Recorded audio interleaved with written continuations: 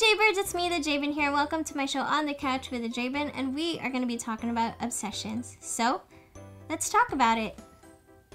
So, before we dive into a discussion of obsession, let's take a look at the vocabulary or the meaning of obsession. So, I went ahead and went to dictionary.com, and the the vocabulary that it gave me was the domination of one's thoughts or feelings by persistent idea, image, or desire. And so basically, I highlighted two words here, and that's domination and persistent idea. Um, so, domination is like the overtaking part, and then persistent is like this continuous, like push and pull of this feeling that you need to, you know, need to have this and continue to do this, right? It's persistent, it continues to pull at you. And so, this desire, this persistent desire, um, is now taking over the way you're thinking about things and, and, and your life, right? So that's obsession, but with obsession, there is a um, similar word and it's compulsion. And compulsion, um, the vocabulary for that is something that compels or it's an irresistible impulse. So when something comp- compels you, um, it's pushing you to do it more, right? Because it seems nice, it's it makes you happy, and it's irresistible. There's an, an irresistible impulse that's pulling you towards that that obsession that you have, and you're like, I need this. It needs to be part of my life because it makes me feel this way, and it it takes over your life, right? So now that we know somewhat of the meaning of obsession, let's go ahead and start talking about it. And so my first question was, why do we get so obsessed? And is it because you have this need to feel complete or this need to fill this emptiness inside you or with other people if you're obsessed with a boy if you're a guy you're obsessed with a girl and with people it's like the feeling to feel loved by others or is it for that instant gratification because it makes you feel happy? It gives you this rush right? And so when it gives you that instant gratification or that instant rush in your life you're like oh, I need more of this because it makes me feel this way. And so, whenever you feel like sad or depressed, then you turn to this thing, this obsession that makes you happy. And so, the cycle continues on and you continue to use it. And that's when it's an obsession. It turns into an obsession because it makes you feel happy. So let me know why do you get so obsessed? Is it one of these reasons or do you have another reason that you would like to share? When we try to fill in this void that we have this emptiness with these things basically these things that are from this world um, is doesn't really satisfy you and maybe it's because of the satisfaction that you need that instant satisfaction well those things can't fill you up because those are empty objects. It, it can't make you feel whole because it's empty and when you continue to you know fill yourself up with emptiness when you're empty yourself what happens? You're still going to be empty in the first place right? So when you're filling yourself with nothing or with emptiness, you're still gonna feel the need to continue this cycle of whatever your obsession is. How does it start? How does your obsession start? Or how did, you know, how did it begin? Where did it start? And so for me, when I was younger, I liked collecting quarters and basically the 50 state quarters, right? And so with that, um, it made me feel happy. I had that instant gratification from it and I wanted to feel accomplished. And so with that, I got a rush out of it. And so that's how it began because it made me feel happy. I had this instant rush I got from it. And so I continued to do it until after I got them all, I was like, it's over now. So what do I do now? And I still felt empty um, the happiness went away and I was like, I was sad. I'm like, oh man, it's all done. And then you kind of move on still collecting, but something different. And then there goes that obsession cycle again. So, how did yours start? Is it because of that? Is it because it did make you feel happy? Is it because you did feel satisfaction from it? Let me know. So, the last question here, I know we're going through this really quick, but um, I hope you're learning something from this, even though we're kind of going through it pretty fast. So, my last question is when should we stop this obsession? And I believe that we should stop our obsessions when it when it starts to take over our lives, when it's become this number one thing, uh, when it takes over our focus, to focus on that, okay? So that's when we should stop.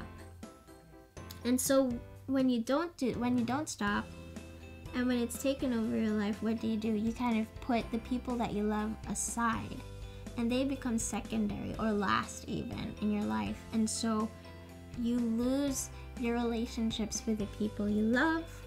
Um, when it's taken over your life, it can definitely drain you financially, emotionally. It can drain you physically. Your health goes down.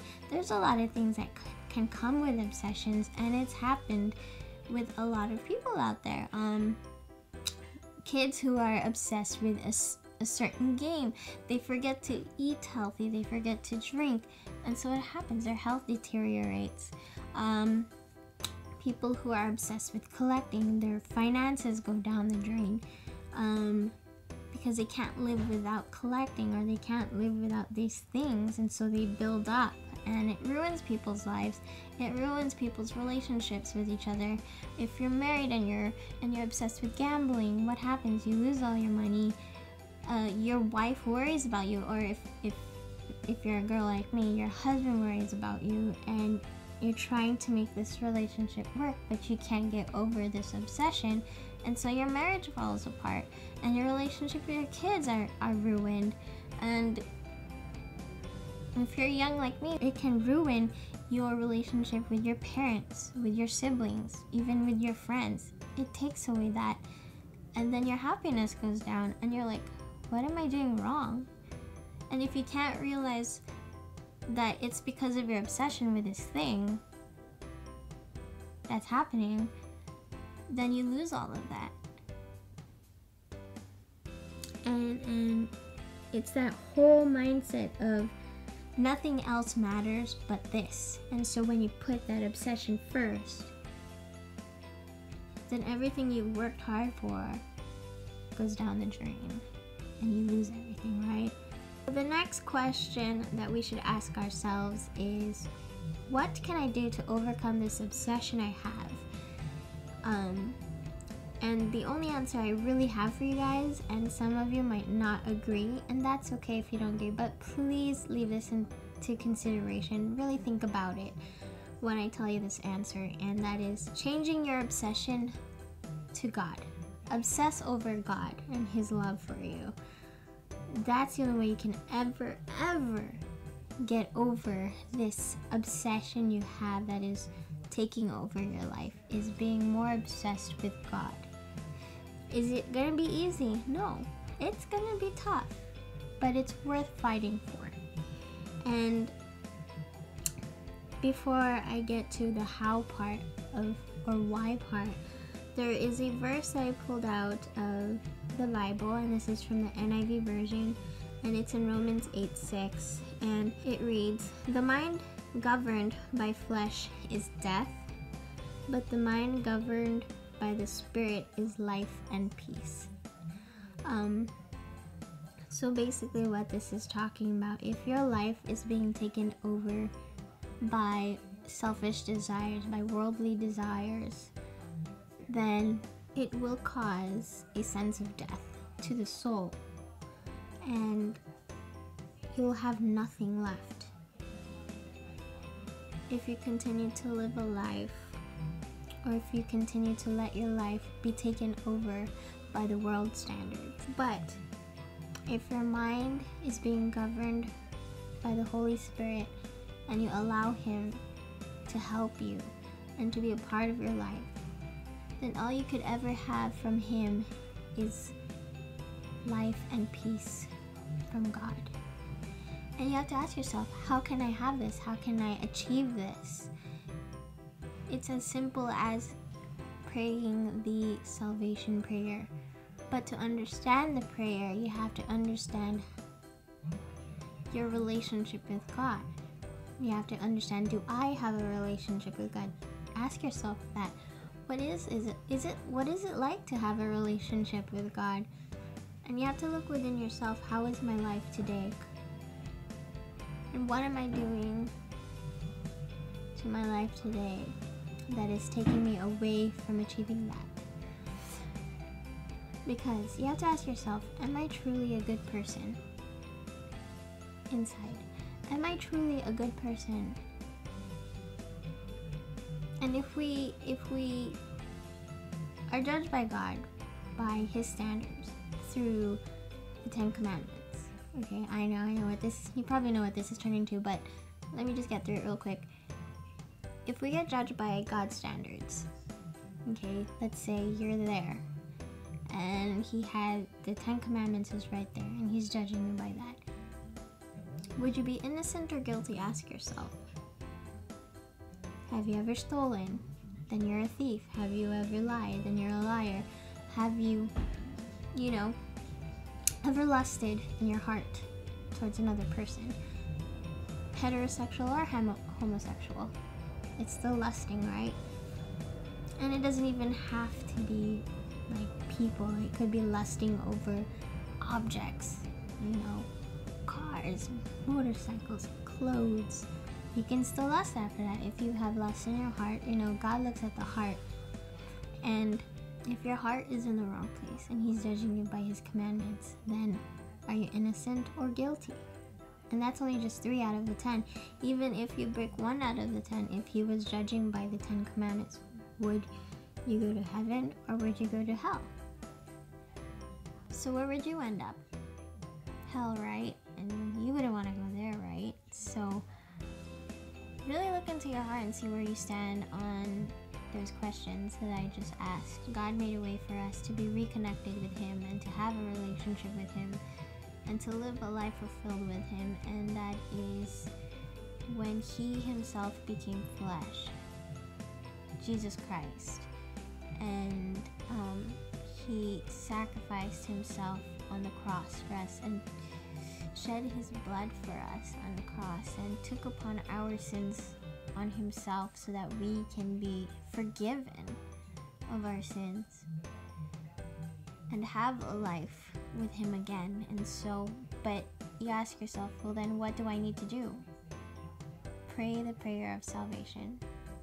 Once you have done that, then you are reconnected with God, you have a relationship with God, and you can have a life that is fulfilled by Him. And the prayer of salvation, if you haven't prayed this yet, I highly recommend it and it's really easy. It's very simple. All you have to do is pray, Lord, forgive me of my sins, forgive me of my shame, cleanse me, O Lord, and come into my life and be part of my life. And I give my all to you. My life is in your hands. Amen.